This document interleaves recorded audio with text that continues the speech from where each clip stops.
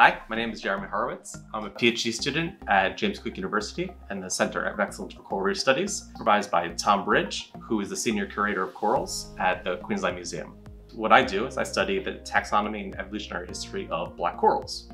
A lot of people confuse black corals with soft corals, but they're actually more related to hard corals or Scleractinia.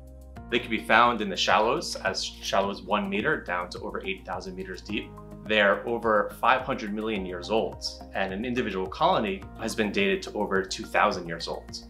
So they've been here a really long time, yet we still don't know much about their taxonomy and evolutionary history.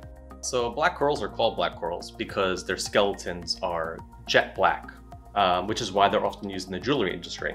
But when they're alive, when they have tissue, the tissue could be many colors. It could be white, pink, yellow.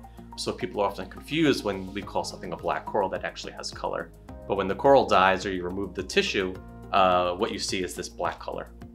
So this coral we collected from the Coral Sea at about uh, 60 meters deep, and it's very large and complexly branched. And the cool thing about black corals is that they could have many different branching patterns.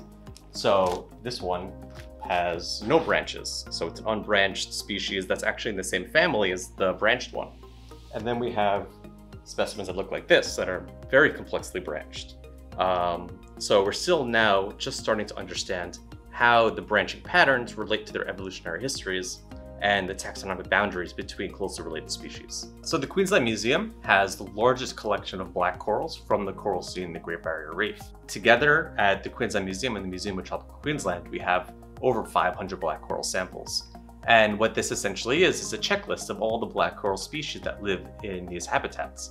And they're important to catalog and understand because that's how we go about protecting overall biodiversity in Australia.